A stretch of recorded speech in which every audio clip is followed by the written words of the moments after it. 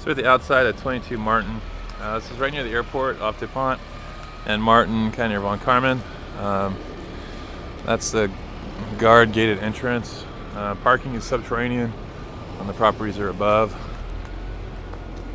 So these properties will have, typically they have two spots assigned. And then I'll head for the elevator.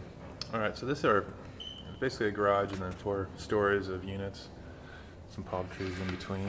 Uh, this is 219.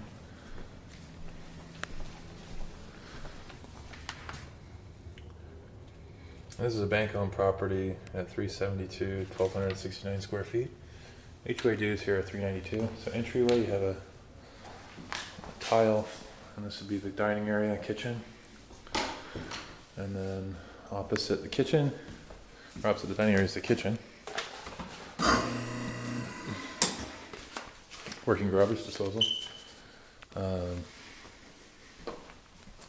so yeah, pantry here, cabinets, refrigerator go there, uh, oven, range, dishwasher. Carpet looks like it's in decent shape, might be new.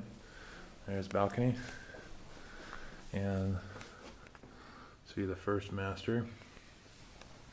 And these are nice units for roommates because you've got the living area in the center, and then the masters are split.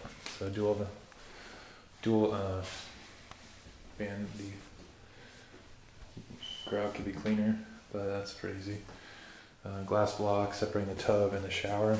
Again, and more grout, more grout work down there. Shower could be recaulked at the bottom. That's all looks good though.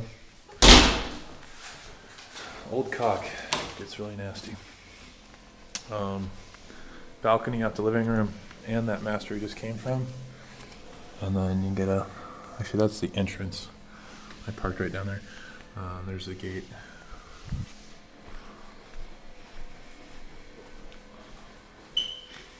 And then bedroom number two, kind of a standard bedroom, maybe 12 by 11 with a walk-in closet, decent shelves, and then uh, the second bathroom.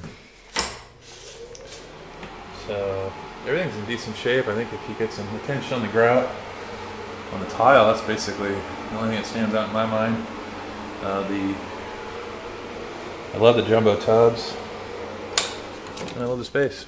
That's 233 Martin, airport area.